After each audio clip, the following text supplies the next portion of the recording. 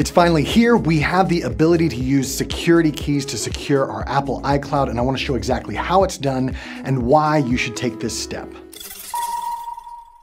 My name is Josh. This is All Things Secured. What you're gonna need right now is you're gonna need two keys, not one, two security keys because Apple's gonna require you to have two of them, one as a primary and one as a backup, which is something I've been preaching all along.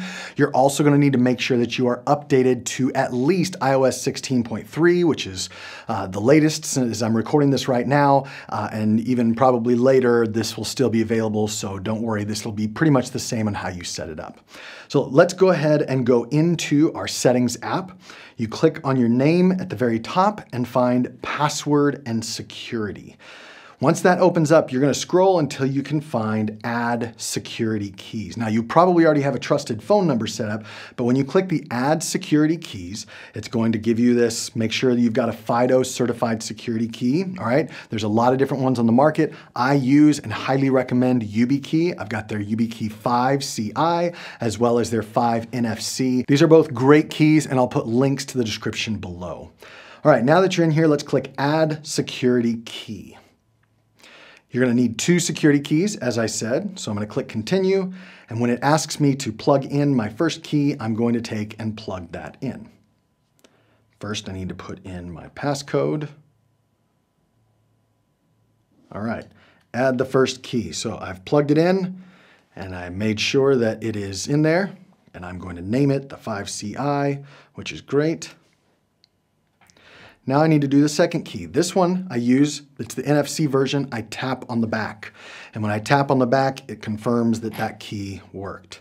So I'm gonna click next. I've done that with the 5 NFC and it wants me to review my Apple devices to make sure that I wanna keep all of these logged in so that way you don't have to go and use your security key to log back into all of your devices. So um, if you wanna do that, that's great, I completely understand. If not, I'm just gonna stay signed in to all of my devices because I trust where and who has access to all of those devices.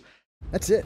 It really only takes about 30 seconds. It is not a difficult process, but I want to spend a moment talking about why this is so important. And one of the reasons this is important is because we want to control our security. And Apple is giving us the opportunity to do so. If you've been an Apple user for any length of time, you've probably seen this screen before when you're trying to log into your iCloud account, where you are given a six digit code either on your computer, your phone, your iPad, your watch, whatever, and you have to type that six digit code in.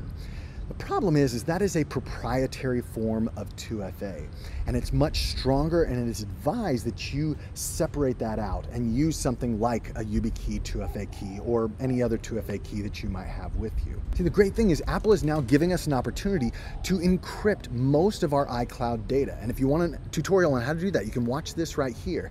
But now they're also allowing us to use 2FA keys. And if you have the financial means to purchase two 2FA keys, I recommend you do it.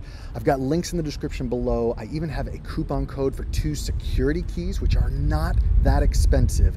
And you can get two of them very easily, one that's your primary and one that's your backup. YubiKey is not sponsoring this video, but I use and love their keys. And so I recommend that you use them as well. If you have any questions, leave them in the comments below. And I'm about to drop another video later this week talking about the three biggest mistakes that people make using 2FA. And once that goes, you'll see that right here.